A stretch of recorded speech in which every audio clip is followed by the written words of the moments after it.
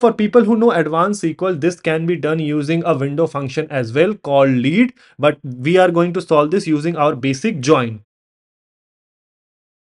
Hey guys, welcome back to our channel. On this channel, we try to learn various concepts of data science by practicing a lot of questions. This video is in continuation of the SQL 50 Crack SQL Interview and 50 question series where we are trying to learn hands-on SQL using 50 carefully curated questions covering diverse aspects of SQL. So we are already done with the select, basic joins, basic aggregate functions, as well as the sorting and grouping part. We are currently working on the advanced select and join. Then we'll be moving to subqueries and finally to advanced string functions, regex and clauses.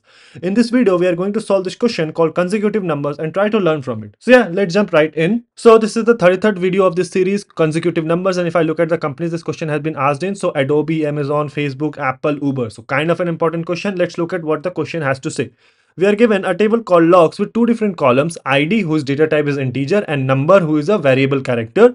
In sql id is the primary key for this table. Id is also an auto increment column and this is very important for the logic that we are going to develop we are asked to find all numbers that appear at least three times consecutively. Order of the result does not matter. Okay, let's look at this example. So here, what is the number that has at least appeared thrice consecutively. Number one has appeared consecutively at least thrice and then number two, no. So only number one and that is what we have in our output. In this question, what we need is for that particular row, what is the value in the number column in the next row as well as the next row? Because if the values in the current row, next row and the next to next row is same, that means that number has been repeated at least three times consecutively. Now, for people who know advanced SQL, this can be done using a window function as well called lead, but we are going to solve this using our basic join and that to a self join. So basically we are going to join this table on itself two times to get what is the value in the next row as well as the next to next row. Let me switch to Excel so that we can develop the logic.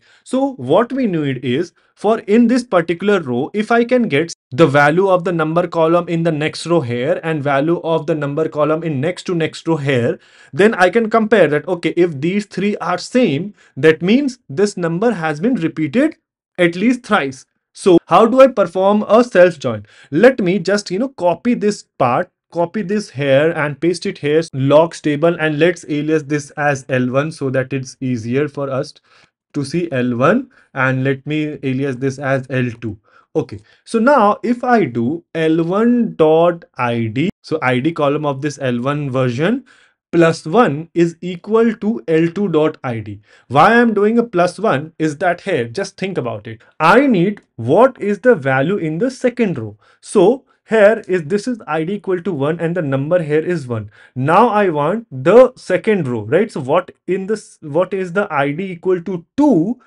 what is the value in the number column so if i do let me just go back and write this query so that I can explain it further. So if I do from this table called logs aliased as L1, let me do a, let's say do a left join of logs but this time aliased as l2 and this is what we call a self join joining a table on itself and we are doing on l1 dot id plus 1 is equal to l2 dot id so see how is this going to work so i'm saying l1 dot id so 1 plus 1 so that becomes 2 and it goes and finds where is 2 so 2 is here and it will populate, okay, whatever is here as well as the number in the number column. So here it will populate 2 and 1. Similarly, it will do L1 dot ID. So 2 plus 1, 3 tries to find out, okay, 3, we have 1.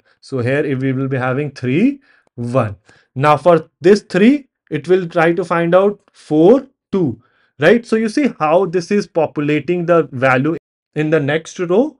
So now we have this, right? So these are the numbers in the next row. Similarly, if we do the same thing again, that there is another one called L3 and we do L2 dot ID plus 1 is equal to L3 dot ID, we are again going to have what is the value in the third row as well. So this is what you will have after performing a join. So if I just do and then left join logs aliased as L3, L3 and on same stuff. So L2 dot ID plus 1 is equal to L3 dot ID and if I just do select star, right? So select star, so basically return everything.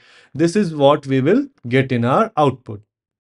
So if I just drag it above and here, so this is the same thing that we see here. So now it is very simple to know, okay, where we have at least three repetitions. So if your L1 dot number is equal to L2 dot number and L2 dot number is equal to L3 dot number, that means that particular number has been repeated at least three times. So we can do here after performing a join, we need to make sure we are only left with those rows where L1 dot number is equal to L2 dot number and L2 dot number is equal to L3 dot number. Let me go ahead and run this. Let's see what do we get in our output.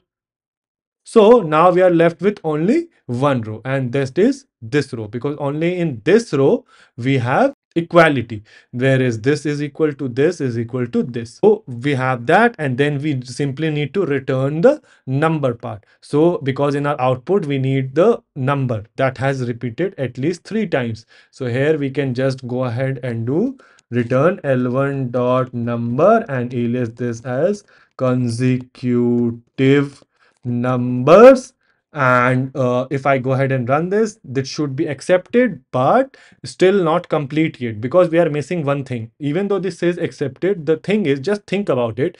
Here, instead of this one repeating thrice, had it been you know this one is also 1 then we would be having this another row row number 2 where this instead of being 2 would have been 1 as well right? So here if you have 4 and 2 if, if instead of that it was 4 and 1 here would be we would be having 4 and 1 so if you do l1 dot number is equal to l2 dot number and l2 dot number is equal to L, l3 dot number then you would be left with two rows. But you do not need the repetition in an output. So that is why you need to do you return even if there is repetition just return the distinct values. So distinct l1 let me go ahead and run this. Obviously this will so accept it but now if i go ahead and submit it it will pass all the test cases. So i see it passed all the test cases and this is how i do it. So yes somewhat difficult question but you can solve this using joins as well specifically self join once we learn about window functions, this can also be done by the same concept, right? So instead of performing a join,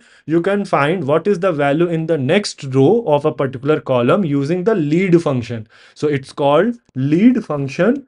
This is a window function which you can use what is the value in the next and not only the very next here if you find right lead from which column you want and how many rows or like do you want the next next to next etc so if you do one it will get the next if you do it two so it after this it will skip one row and in the second row what is the value and so on right so you can use that as well so yeah, this is how we do it. Let me know if there is a better way or more efficient way to solve this question. Let the solution be in the comment section below and I will see you guys in the next video.